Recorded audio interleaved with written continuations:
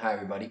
If you go to my channel page, you'll see where it says join me on Facebook. If you click on Facebook, you'll see that I've got a lot of friends like from high school, people I grew up with, and uh, American folks. And a lot of them are making a lot of Muslim friends. I had a buddy of mine said to me, he said, Hey, Bret, some guy, some uh, Middle Eastern guy, just sent me a friend invite. I figured he was a friend of yours, so I said yes. So now I'm friends with this guy.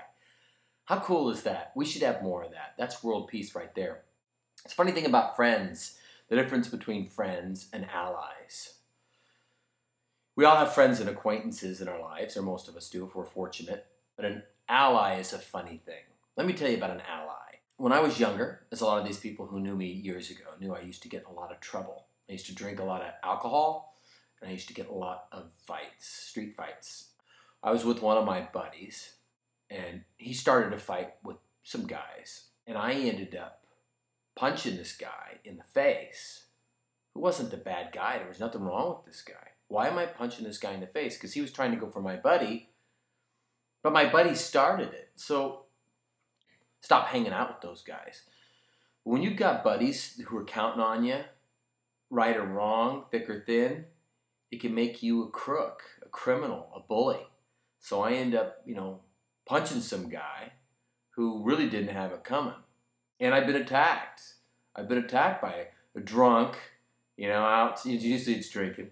Some guy attacks you, you uh, beat him up, and then his buddy comes after you because you beat him up. I'm like, hey, he started it, doesn't matter. That's my friend. That's my friend. I'm coming down. I remember having a half a dozen guys pushing me and punching on me. I got hit in the back of the head, uh, all because of their allies they're wrong. I was wrong and they were wrong in all those cases. Now, United States has allies. It's like we'll do anything. We'll do anything for these allies. China goes and oppresses these Buddhists and the Dalai Lama, sweetest guy on the planet, who I happen to have met twice.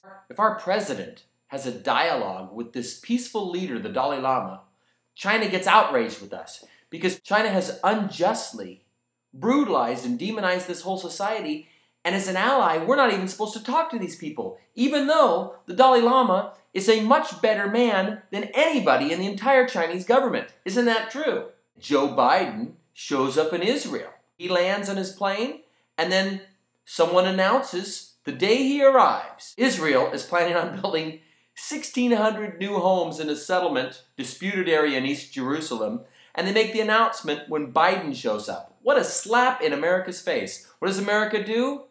Well, it'd sure be nice if uh, you'd do something. Uh, well, we're going to apologize for our poor timing of making the announcement about the new home builds when Mr. Biden arrived. What does that do?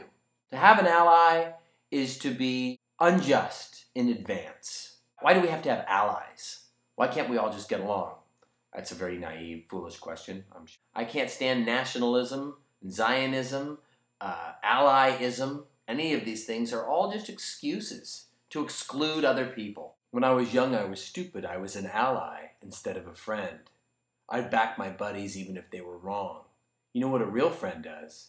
A real friend tells you when you're screwing up and helps you stop. And if you don't stop, now, as a, as a good friend, I've said this to buddies of mine, you stop that behavior. If you're not going to stop it, I'm done with you. I will not associate with you anymore until you stop this behavior. Don't treat that person that way. Don't treat yourself that way. I am done with you until you stop this. I have ended relationships with friends because of that, because I am their friend. If I was their ally, I'd stick with them. Have another drink. Hit that person. Cheat on your wife. Go ahead and enjoy, because I'm your ally. I got your back. And then the whole world falls apart because we've got allies instead of friends. Oh, oh,